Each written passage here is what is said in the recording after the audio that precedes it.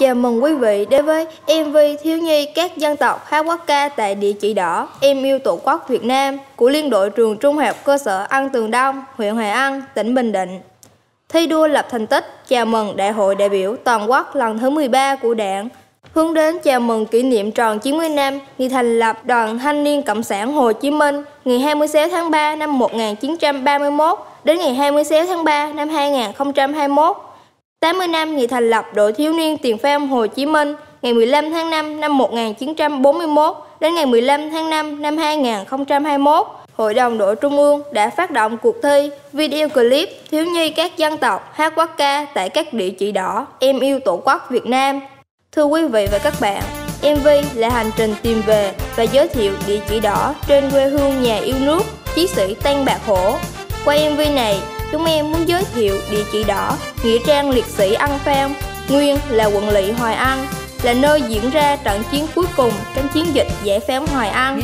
Hành trình của chúng em là đi theo giáo chân các chú bộ đội anh hùng từ trang chiến dịch giải phóng quê hương Hoài An anh hùng.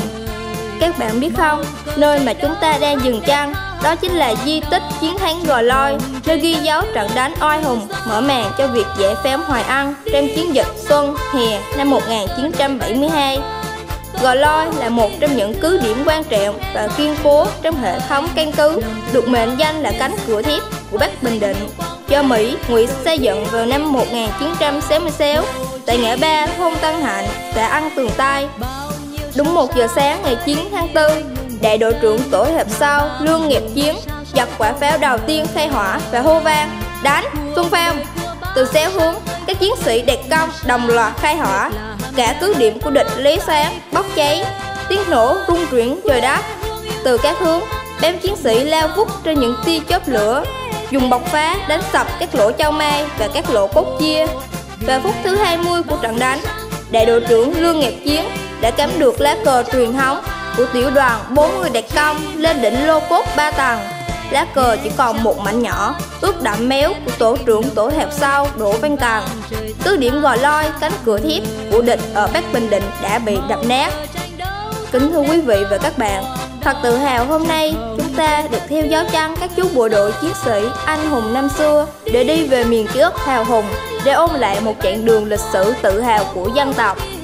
Gò loi đã vào tay cách mạng cánh cửa phía tây nam chiến dịch đã mở toang báo hiệu giờ phút cáo chung cho ngụy quân, ngụy quyền ở hoài an thừa tháng sắp tới, bộ chỉ huy mặt trận bình định hạ quyết tâm tiến công giải phóng quận lỵ hoài an với trận đánh quyết định này là trận quyết chiến quyết thắng của chiến dịch, quân ta đã triển khai hết sức khẩn trương và đồng loạt tiến công vào đêm 18 rạng sáng 19 tháng 4 sau 10 ngày chiến đấu ngoan cường của ta, một tin vui nức lèo mọi chiến sĩ, quân dân Bình Định.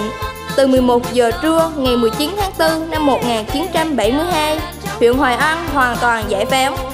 Từ đây, hơn 30.000 dân trên các khu đường của địch ở Hoài An đã thoát khỏi ách kìm kịp của địch sau hơn chục năm gian khổ, đeo thương. Ngày 19 tháng 4 năm 1972, quận lỵ Hoài An, nơi mà chúng ta đang đứng hôm nay đây hoàn toàn giải phóng. Chúng ta có quyền tự hào về tất cả điều đó. Tự hào ngày hôm nay, chúng ta có mặt tại đây, trang nghiêm hát quốc ca tại căn cứ quận lỵ Hoài An, nghĩa trang liệt sĩ xã An Pham.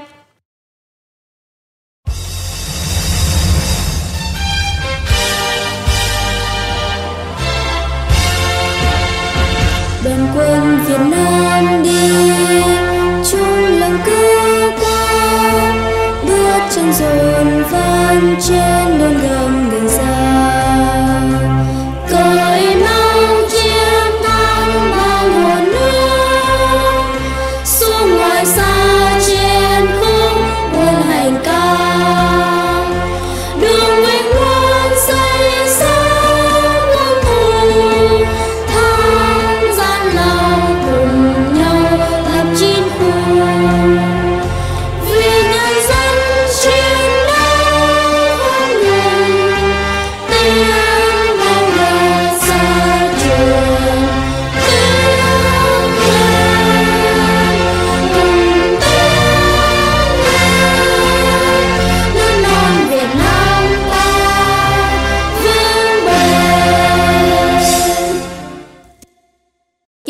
đã qua đi, nhưng những mất mát từ các cuộc chiến tranh không thể nào xóa nhòa được. Các thế hệ cha anh đi trước đã không tiếc méo xương của mình để giành được độc lập và tự do cho dân tộc. Để thế hệ trẻ chúng ta được vui chơi, được học tập trong hòa bình và hạnh phúc như ngày hôm nay, sự hy sinh của các thế hệ cha anh mãi mãi là tấm gương sáng cho đời nay và mãi mãi mai sau phải noi theo để tưởng nhớ hương hồn các anh hùng liệt sĩ đã vĩnh viễn nằm xuống vì độc lập tự do của tổ quốc vì hạnh phúc của nhân dân. Chúng em xin được thắp nén hương, nghiêng mình trước các anh linh các anh.